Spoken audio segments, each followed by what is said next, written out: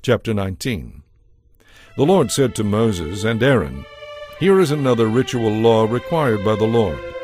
Tell the people of Israel to bring you a red heifer that has no physical defects and has never been yoked to a plow. Give it to Eleazar the priest, and it will be taken outside the camp and slaughtered in his presence. Eleazar will take some of its blood on his finger and sprinkle it seven times toward the front of the tabernacle. As Eleazar watches, the heifer must be burned, its hide, meat, blood, and dung.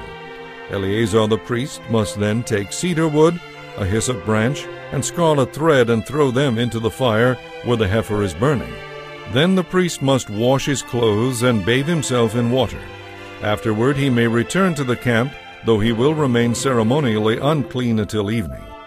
The man who burns the animal must also wash his clothes and bathe in water, and he too will remain unclean until evening. Then someone who is ceremonially clean will gather up the ashes of the heifer and place them in a purified place outside the camp. They will be kept there for the people of Israel to use in the water for the purification ceremony. This ceremony is performed for the removal of sin. The man who gathers up the ashes of the heifer must also wash his clothes, and he will remain ceremonially unclean until evening. This is a permanent law for the people of Israel and any foreigners who live among them. All those who touch a dead human body will be ceremonially unclean for seven days. They must purify themselves on the third and seventh days with the water of purification, then they will be purified. But if they do not do this on the third and seventh days, they will continue to be unclean even after the seventh day.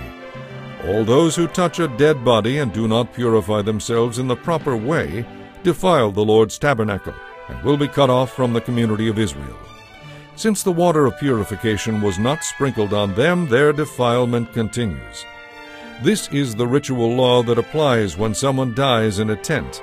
Those who enter that tent and those who were inside when the death occurred will be ceremonially unclean for seven days.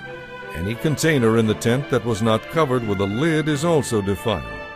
And if someone outdoors touches the corpse of someone who was killed with a sword or who died a natural death, or if someone touches a human bone or a grave, that person will be unclean for seven days. To remove the defilement, put some of the ashes from the burnt purification offering in a jar, and pour fresh water over them. Then someone who is ceremonially clean must take a hyssop branch and dip it into the water. That person must sprinkle the water on the tent, on all the furnishings in the tent, and on anyone who was in the tent, or anyone who has touched a human bone, or has touched a person who was killed, or who died naturally, or has touched a grave. On the third and seventh days, the ceremonially clean person must sprinkle the water on those who are unclean.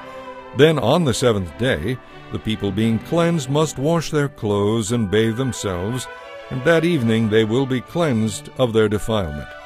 But those who become defiled and do not purify themselves will be cut off from the community, for they have defiled the sanctuary of the Lord. Since the water of purification has not been sprinkled on them, they remain defiled. This is a permanent law. Those who sprinkle the water of purification must afterward wash their clothes, and anyone who touches the water of purification will remain defiled until evening. Anything and anyone that a defiled person touches will be ceremonially defiled until evening.